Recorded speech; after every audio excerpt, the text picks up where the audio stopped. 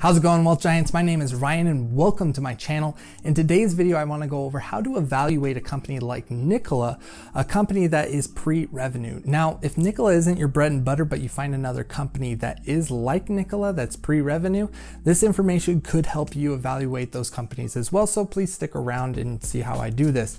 Now, I'm not a financial advisor, but I do recommend making it a very small portion of your portfolio if you do plan on investing in this company, because it is more of a gamble than anything and you have the potential of losing all your money if they don't hit their milestones in the future. But before we begin, it takes me a lot of hours to put these videos together and I don't get paid to do this. So if you wouldn't mind slapping that like button for the YouTube algorithm, helps me out a lot, helps people like yourself find my videos here on YouTube. Also, if you wanna see more videos like this, please consider subscribing. And if you have any questions, leave a comment down below and let's get into this video. For those of you who have looked at the income statement before watching this video, know that they generated some revenues last quarter. Now let me explain why they are still a pre-revenue company and why this revenue that they reported is actually irrelevant to you as an investor. In their 10Q, they stated under revenue, to date we have primarily generated revenue from services related to solar installation projects that are completed in one year or less. Solar installation projects are expected to be discontinued and are not part of our primary operations. Right there, they just said that they are discontinuing their solar portion of their business, meaning that this revenue that they reported is irrelevant to us as investors who are looking towards the future growth of this company. So that is why they are still a pre-revenue company. All right, so let's go ahead and get into the nitty gritty. There are three things that I look for in Nikola before I invest in them pre-revenue. And their CFO, Kim Brady, actually said it best in their earnings call when he said, as a pre-revenue company, the best way to monitor our progress and execution would be to hold us accountable for achieving certain milestones rather than earnings. Now, I agree with the majority of the statement. The first thing you want to look at is their milestones. Are they reaching their milestones by the dates that they specify within their budget? In the conference call, they stated five milestones that you should keep an eye out for. Let's look at those real quick. Now on the screen, you could see the five milestones and the first four I think are good and important. You wanna keep track of those. If you wanna pause the video and read through them, go ahead and do that now. But the main one that I wanna focus on is the bottom one, completion of phase one of our Greenfield manufacturing facility in Coolidge, Arizona by Q4 of 2021. This is the most important one because this is when they're gonna start generating revenue, okay? This is when I'm gonna start seeing a return on my investment. As much as it's cool to invest in a green company, I'd rather just see them making me green. See what I did there? Funny, right? Anyways, okay, so the second thing I'm gonna look for before investing in Nikola is their cash burn, okay? Now, this is where I disagree with their CFO a bit, is where he said don't worry so much about the earnings, worry more about the milestones. Well, the earnings kind of indicates what their cash burn is, and they only have so much money on their balance sheet before they run out of cash, okay? And they are going to be ramping up how much they spend over the next couple of quarters. So that kind of concerns me because it's a lot harder for a company that has no product to sell to build capital without selling more shares to the public, which kind of dilutes the investor's shares. So that kind of is a little concerning. Plus, how hard will it be for them to get loans from banks and all that other stuff? You know, there's a lot of loops that they got to go through. Now, that doesn't mean that they can't do it, but it is kind of concerning. How much money do they have on the balance sheet, and then what is their cash burn projection for the rest of the year? Let's go ahead and look at that. Approximately on their balance sheet, they have 698 million minus 8.9 million of restricted cash, and their projected cash burn, estimated R&D for 2020 is in the range of 190 to 200 million, and estimated SG&A for 2020 is in the range of 175 to 185 million. Okay, so let's just say they're going to spend about 400 million by the end of the year, and they have 690 on the balance sheet. So pretty much they will have by the end of the year 290 million left, which remember they're not going to have a factory until Q4 of 2021. So that means they have $290 million left on the balance sheet to get them there.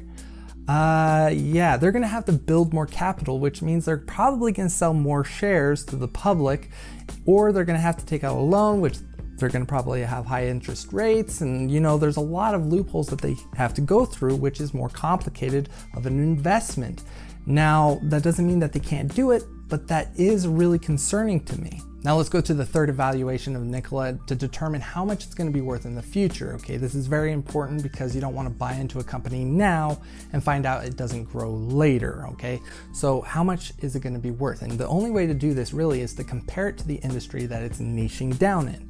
Nikola right now is niching down into the semi truck manufacturing industry. Don't get it confused with the semi truck industry, the trucking industry, because that's a very like that's a 700 billion dollar industry. The semi truck manufacturing industry is worth more around 11.9 billion according to what I found on Google. So not so much, and that's not the best case scenario for Nikola because right now Nikola is trading at around a 14 billion dollar market cap, which means it would be overvalued. But let's go ahead and take a look at this. Nikola is branching out into hydrogen fuel. They are branching out into recreational vehicles, and they are also doing the Nikola Badger, and they have potential to do cars and SUVs and things like that.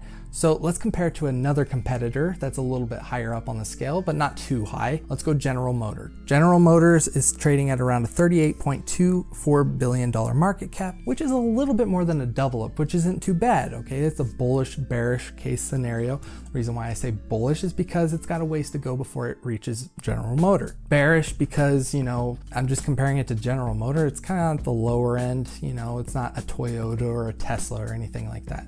Well, let's not go too far up. Let's not go towards Tesla's level, but let's go ahead and go to Toyota's level. Say it eventually one day makes it to Toyota's market cap. Toyota's currently, time of recording, trading at around $179.68 billion market cap right now. So that's around a 13x of your money if it makes it to that point.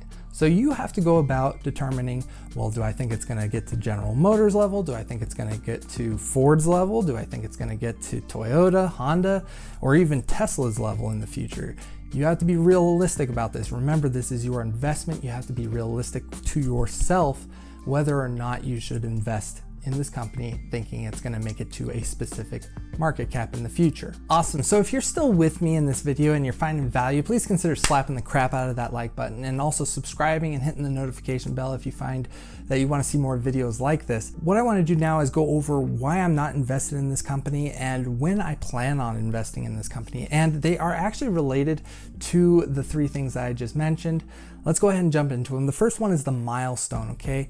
The milestone of creating that manufacturing facility in Arizona, I think is the most important part about their company and probably the one thing that's really holding the entire investing in this company back from me.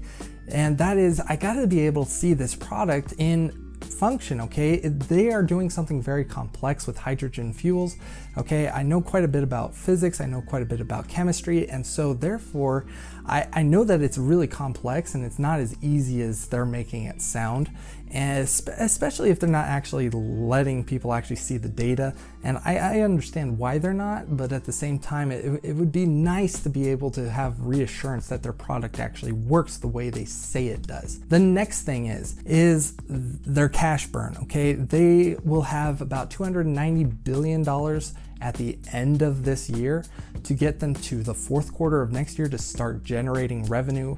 That's not including profitability. So that worries me quite a bit, and I want to actually see them actually build capital. The next thing, the third thing is trying to figure out how much this company will be worth in the future. Right now, it's really unclear because they're really focusing in the semi truck industry. I don't feel like that's the best industry to focus and niche down in. As we saw, the, the industry is only worth around 11.9 billion. Now they're obviously doing other things, but if that's their main niche product, they're way overvalued as of right now. They could end up doing more in the hydrogen and the rec vehicles, trucks, cars, SUVs, and things like that.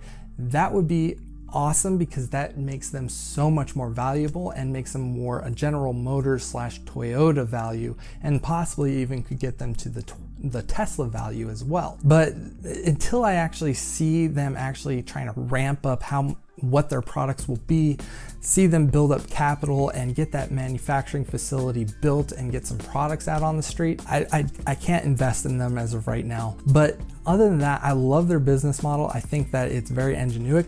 Is that a word? I hope it is.